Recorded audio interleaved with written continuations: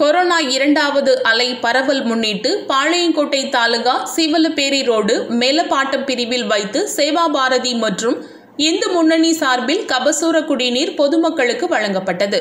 இதில் தாலுகா காவல் ஆய்வாளர் பாலகிருஷ்ணன் அவர்கள் பொதுமக்களுக்கு கபசூர குடிநீர் வழங்கினார்.